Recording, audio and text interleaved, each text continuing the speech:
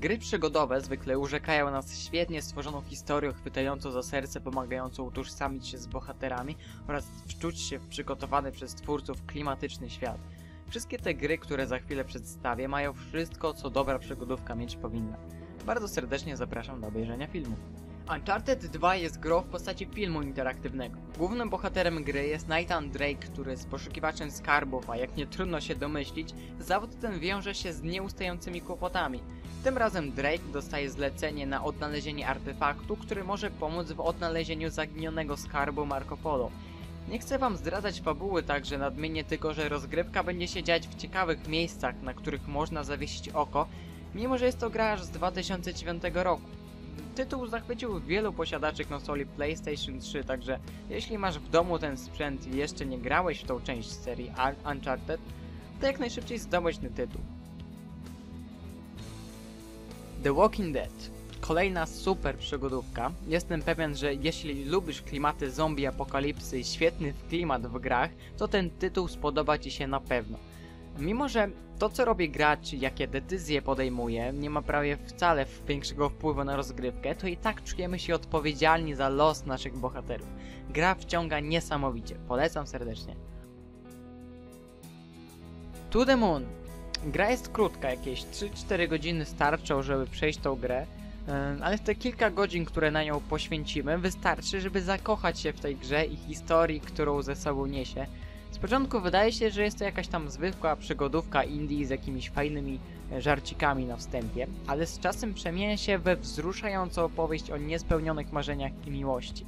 Serdecznie polecam ten tytuł, jak mówiłem, gra nie jest długa, także warto poświęcić na nią chociażby sobotni poranek. Life is Strange to składająca się z pięciu epizodów gra przygodowa. Max, czyli główna bohaterka marząca o karierze fotograficznej, dostaje moc cofania się w czasie. Hashtag książę Persji. Za jej pomocą musi najpierw się ogarnąć, potem ogarnąć kwestię swojej najlepszej przyjaciółki Chloe, a następnie rozwiązać zagadkę kryminalną i powstrzymać koniec świata.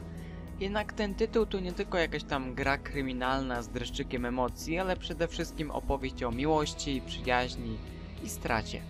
Spodoba wam się na pewno. Valiant Hearts opowiada historię czworga ludzi, którzy spotkali się na froncie podczas I wojny światowej. Jest to bardziej opowieść niż gra. Jeśli miałbym ją jakoś zaklasyfikować, to powiedziałbym, że jest to przygodówka z elementami zręcznościowymi. W grze natchniemy się na wiele znajdziek, z których uzupełnimy naszą wiedzę z czasów wojny i wydarzeń z nią związanych. Produkt zawiera również wiele zagadek logicznych, które urozmaicają rozgrywkę. Jest to bardzo ciekawa przygodówka, naprawdę polecam. The Wolf Among Us. Gra od twórców The Walking Dead, także już wiecie czego się spodziewać.